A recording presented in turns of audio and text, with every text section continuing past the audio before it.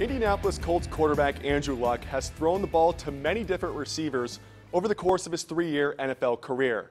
But today at Purdue's Mollenkopf Athletic Center, Luck had several new targets to throw the pigskin to as part of the change of play camp. Sports 18 has the story.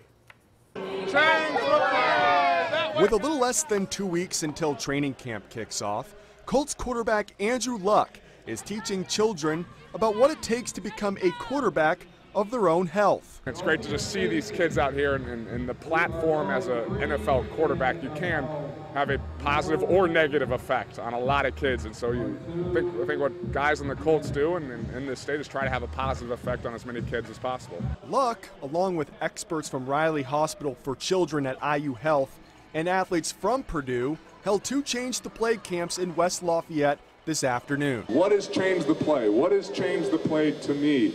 It's about taking charge of your health. Riley at IU Health interim president and chief medical officer Paul Haut says Luck's involvement with Change the Play has been instrumental in raising awareness for the eighth most obese state in the nation. Partnering with Andrew Luck is an amazing opportunity. He's a great role model. Even when he's got downtime, he comes to the hospital and volunteers. And the results of the partnership have shown this year's camps double the number of children who can participate. Ask some of those children what it's like to catch a pass from the Pro Bowl quarterback. Awesome! Come August 1st, Luck will be throwing to the big boys instead.